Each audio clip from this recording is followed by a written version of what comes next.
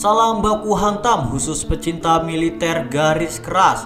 Kali ini admin akan membahas alutsista milik Indonesia yang menjadi rebutan bangsa asing. Pesawat CN235-220 EPA adalah pesawat kebanggaan Indonesia yang dibuat oleh PT Dirgantara Indonesia. Pesawat ini laris diekspor ke sejumlah negara. Salah satunya yaitu Republik Senegal yang memesan satu unit pesawat ini.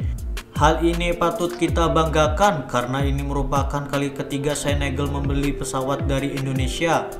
Ketertarikan bangsa asing tentang pesawat ini karena kehebatan pesawat CN235-220 MPA dapat lepas landas dengan jarak yang pendek meski kondisi landasan belum beraspal.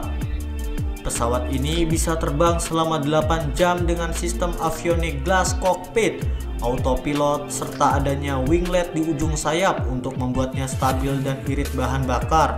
Pesawat CN235-220 MPA ini dilengkapi beberapa fitur, yakni Tactical Console Taco 360 derajat, search radar yang bisa mendeteksi target kecil hingga 200 nautic mil.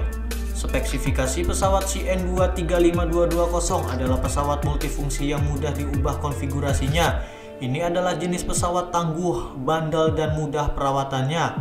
Pesawat ini juga cocok untuk pasukan penerjun payung yang mampu menampung 49 tentara atau 34 pasukan penerjun payung. Yang paling spesial dari pesawat ini adalah bahan bakarnya yang ramah lingkungan.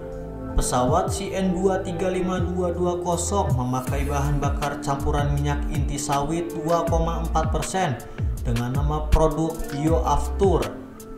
Dari sinilah bangsa asing berbondong-bondong memesan pesawat CN235 karena pesawat ini sangat irit pada bahan bakar.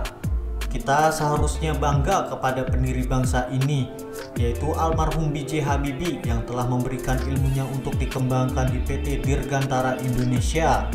Bagaimana tanggapan kalian tentang pesawat ini?